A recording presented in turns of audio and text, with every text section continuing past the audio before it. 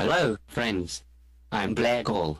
As you may be aware, it is Girl Scout cookie delivery season. I have always heard about the wonders of Girl Scout cookies.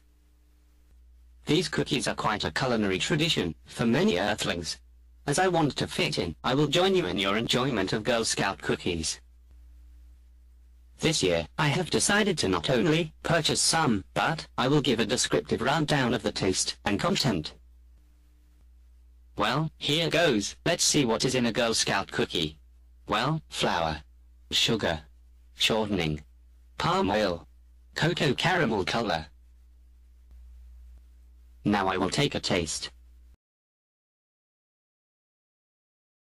They seem to be reasonably tasty, if you have underdeveloped taste buds, like all Earthlings.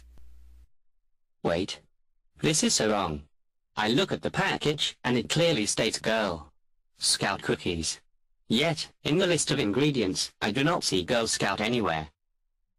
This is false advertising. How rude.